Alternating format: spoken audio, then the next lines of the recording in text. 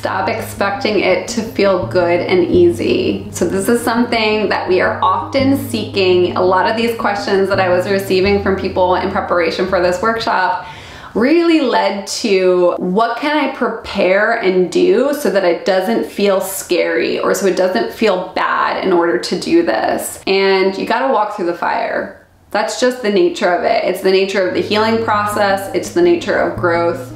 You have to walk through the discomfort in order to transmute it.